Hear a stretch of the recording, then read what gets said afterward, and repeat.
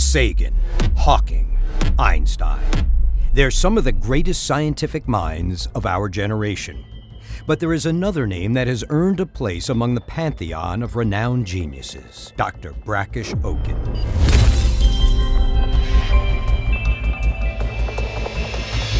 With the majority of his life hidden in government files, the story of this genius, described as Einstein with a mood ring, was virtually unknown until the War of 96.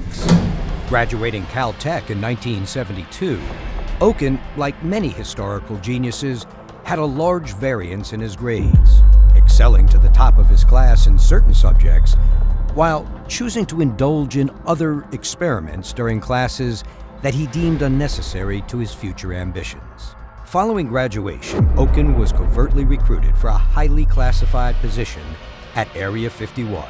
For the years that followed, Okun devoted his life to learning all he could about the alien technology, an understanding that would be instrumental in Earth emerging victorious from the War of 96. Tragically, that victory wasn't without a price as a vicious attack led to critical injuries that placed Okun in a coma where he's remained for the last 20 years. Now we hold out hope that this renowned genius isn't done yet. He's simply waiting to return when the Earth might need a hero once again.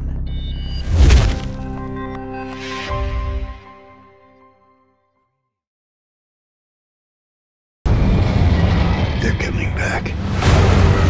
It has its own gravity. Goes up must come down. Shouldn't we be nervous? Um, yeah.